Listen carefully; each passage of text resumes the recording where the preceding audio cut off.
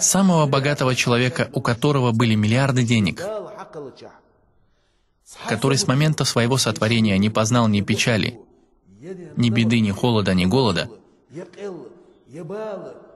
ни бедности, ни заключения, который всю свою жизнь провел в благоденствии и достатке, в судный день Аллах прикажет ангелам окунуть его на миг в ад и вытащить обратно. После того, как ангелы его вытащат, Аллах скажет своему рабу, «О раб мой, с момента своего сотворения ты познал благополучие?» Этот человек ответит, «О мой Господь, с момента моего сотворения я не познал ни счастья, ни благополучия даже на одну секунду». Почему? Потому что его окунули в ад на миг и вытащили. Хоть он прожил сто лет или тысячу лет, в благоденствии и благополучии он забудет все это, как будто этого никогда и не было.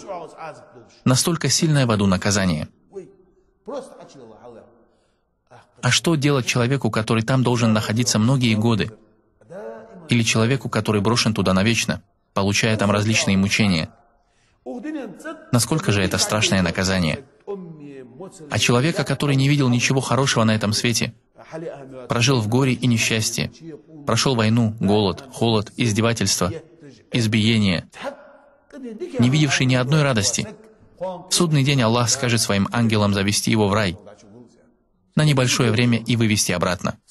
И когда Аллах спросит у него, «О раб мой, с момента сотворения ты познал несчастье и трудности?» Человек ответит, «С момента своего сотворения я не познал несчастья и горя даже на одну секунду. Все свои беды, трудности и невзгоды, даже если он до самой своей смерти провел жизнь в тюрьме и одиночестве, все это он забудет. До того рай красивый. Эта красота заставит его забыть все это. Из всего вышесказанного мы понимаем, что это дунья не стоит ничего и не имеет значения, что ты в благополучии прожил, а что в горе. زمن تأخر.